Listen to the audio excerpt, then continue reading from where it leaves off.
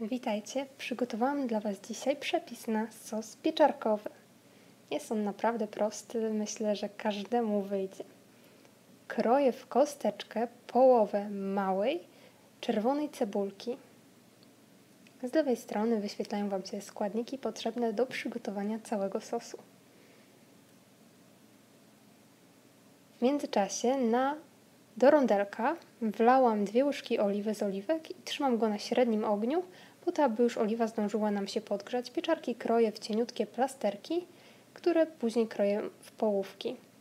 Po to, aby nie były zbyt duże kawałki w sosie, w ten sposób będzie po prostu dużo przyjemniej ten sos zjeść. Na rozgrzaną oliwę przekładam cebulkę, którą mieszam po to, aby się nie przypaliła. Później na chwileczkę oczywiście zostawię, ona musi mi się zeszklić. Jak jest już zeszklona, to przekładam pieczarki i mieszam je.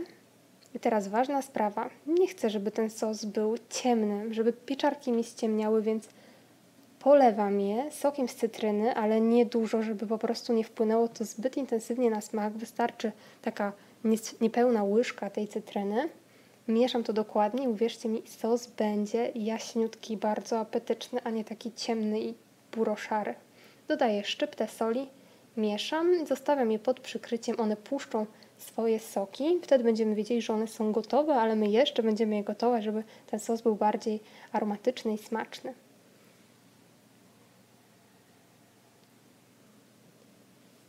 Dolewam do tego dwie chochle wody. Ja akurat przygotowuję na obiad ryż, więc od tego ryżu dodaję dwie chochle wody, już są osolone i mają jeszcze delikatny posmak. Mogą to być również dwie chochle bulionu lub po prostu dwie chochle wody, które będziecie po prostu musieli doprawić. Znaczy sos już doprawicie na przykład solą. Dolewam do tego także cztery takie łyżki mleka i mieszam to dokładnie. Cały czas mam to na średnim ogniu. I zaraz przygotuję mieszankę, która zagęści w naturalny sposób nam ten sosik, żeby nie był tak płynny. Do przygotowania tej mieszanki, która zagęści nam sos, potrzebujemy jedynie niecałą jedną czwartą małej szklaneczki wody. Jej nie ma być dużo.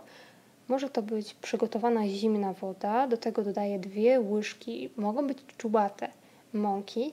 I teraz najważniejsze, że najłatwiej za pomocą trzepaczki to rozmieszać szybko, energicznie, po to, aby nie było żadnych grudek. Wtedy w sosie nie, będą, nie będzie grudek. To już tutaj jest gęste, a jak wlejemy do sosu, to błyskawicznie nam go zagęści. Zresztą spójrzcie, mam go cały czas na średnim ogniu, stale mieszam, przelewając tę niewielką ilość mieszanki, bo tego wyszło naprawdę niewiele, a sos, jak już widzicie, jest bardzo gęsty. Nawet możliwe, że trochę za gęsty, wtedy możemy dodawać po odrobinie wody, stale mieszając. Tak wygląda nasz sos pieczarkowy, on już jest gotowy po tym czasie. Oczywiście do smaku możecie doprawić solą lub pieprzem, a po więcej przepisów zapraszam na www.jedzonko.blogspot.com. Życzymy smacznego! Zapraszamy również do polubienia nas na Facebooku, a także do subskrypcji naszego kanału YouTube. Pozdrawiamy, pa! pa.